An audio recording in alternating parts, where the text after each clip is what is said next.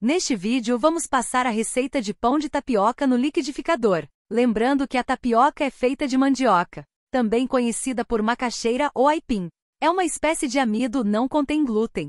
Contém cálcio, pouco sódio e é considerado uma fonte de energia. Nesta receita, a tapioca será feito um pão no liquidificador. Os ingredientes são 2 ovos inteiros, 5 colheres, sopa de óleo, meia xícara de leite, 120 ml, uma colher, chá de sal, uma xícara de tapioca 240 ml, tapioca de mercado, uma xícara de amido de milho 130 ml, uma colher, sopa fermento de bolo.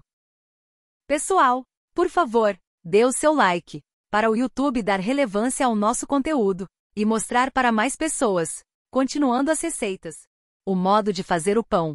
Bata no liquidificador por um minuto mais ou menos, os ovos, o óleo, o leite e o sal. Logo após colocar a tapioca e o amido de milho, bater mais um pouco. E colocar o fermento e bater pouco. Para misturar o fermento, colocar em uma forma untada com óleo. Leve ao forno de 180 graus a 200 graus por 30 a 35 minutos.